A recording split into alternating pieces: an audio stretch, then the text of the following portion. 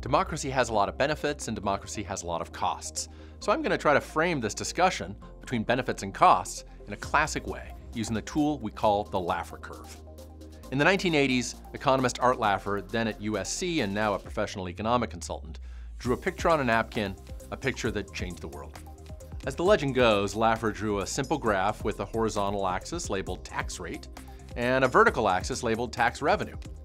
On the graph, he drew a simple upside down U, when the tax rate was zero, a government wouldn't raise any revenue, since it wasn't taxing anything.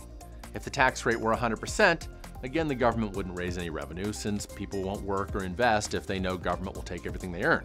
Or at least if they do, they won't tell the government about it. At some point in the middle, there's a sweet spot, a tax rate that would maximize government revenue.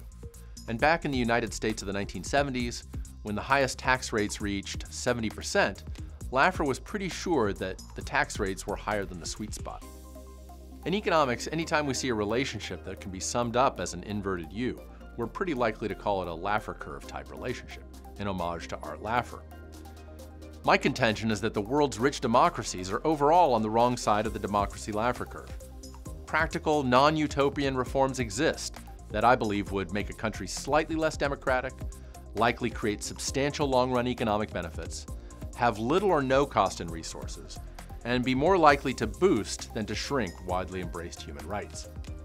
Just as importantly, for matters of practicality if nothing else, countries that enacted these reforms would still look and feel and be democratic.